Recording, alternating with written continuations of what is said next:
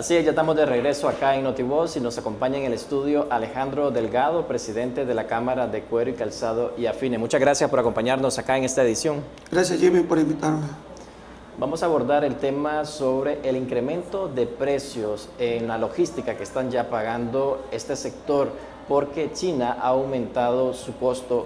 Tal vez nos habla un poco sobre esa variante que ahora existe en cuanto a los costos de logística que tienen que asumir los eh, dueños de tenería, los dueños de calzado, en general, todo el sector. Hoy en día nos han llamado los proveedores de materias primas y nos han comunicado que todas las materias primas vienen para arriba, no solamente las de cuero y calzado, sino todo lo que se produce en China eh, va a subir de precio entre un 20 y un 30%. A nosotros nos han subido lo que es el pegamento, los forros, aditivos para brillo, aditivos para los cueros, eh, entonces la población tiene que estar alerta porque ese aumento viene en todos los productos importados de China. ¿A partir de cuándo se va a empezar a percibir ese aumento de parte de los consumidores? Nosotros ya el día de ayer que recibimos mercadería, ya vino con un 20% más de, de aumento sobre todo los pegamentos y los forros para calzado. Por ejemplo, un calzado escolar que costaba tanto, ¿cuánto va a percibirse ya en el mercado local? Yo creo que el impacto no va a ser en el zapato escolar porque esa materia prima la teníamos en bodega. Creo que el impacto va a ser de marzo y el restante del año. Y no solamente en Nicaragua, ya nuestros clientes de Panamá y nuestros clientes de Costa Rica están haciendo pedidos grandes y nos están eh, con el acuerdo de que vamos a mantener ese precio para el último pedido. ¿Ese incremento que ustedes están percibiendo no hay manera de revertirlo o es el gobierno de China que lo ha impuesto? Mira, el problema de nosotros el reto del mundo es que hemos sido dependientes de China. Y hoy que China quiere recuperar lo que no ganó en el 2020, entonces nos están poniendo ese arancel, por decirlo así, en el 2021. Y creo que todo el mundo tenemos que estar preparados porque esa alza viene y viene con toda la fuerza. ¿En qué productos son los que se van a hacer sentir ese incremento de precios en los productos que se están ofertando a nivel local? Fíjate que, por ejemplo, nosotros también estamos metidos en el negocio de los hoteles. Nuestra familia tenemos un hotel pequeño en Granada y quisimos comprar y renovar aire acondicionado y ya nos anunciaron que el aire acondicionado uno que valía 500 dólares ya vale 600 dólares para hoy. Entonces todo lo que, lo que se importa de allá, todo tiene un incremento de precio alto. Bueno, y también cuál fue el comportamiento que hubo en 2020 en cuanto a la producción de calzado y de banda. Hay información de que no hubo importación de calzado internacional acá en Nicaragua. Mira, esto del alza puede beneficiarnos un poco al sector. Ahora de que nosotros en Nicaragua producimos muchas pieles.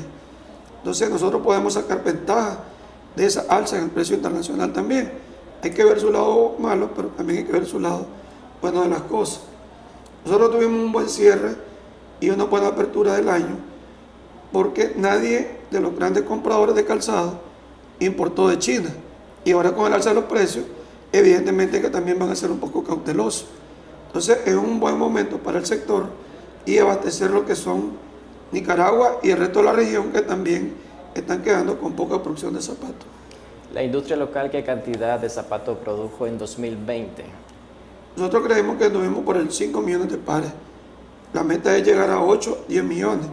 Creo que tal vez este año logramos llegar a unos 7 millones de pares producidos. ¿El principal mercado cuál fue? Nicaragua y Costa Rica un poco y ahora tenemos pedidos grandes hacia Panamá.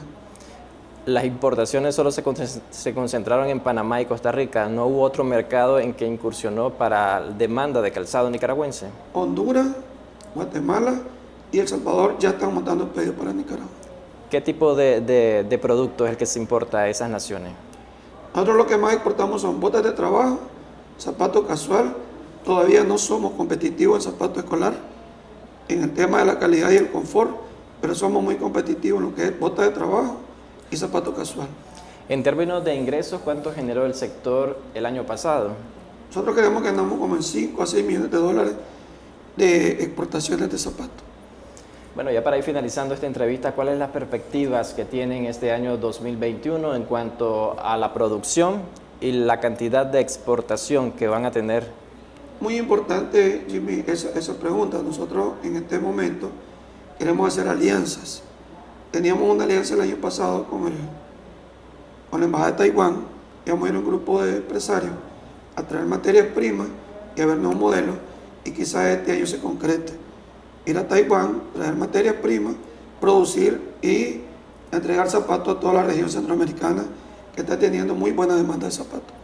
Muchas gracias por acompañarnos y hablar sobre la problemática y las perspectivas que tiene este 2021 el sector de calzado y cuero. Gracias Jimmy por invitarme siempre a la orden. Bueno, de esta manera vamos a hacer una pausa comercial. Ya regresamos con más información responsable acá en Notivoz.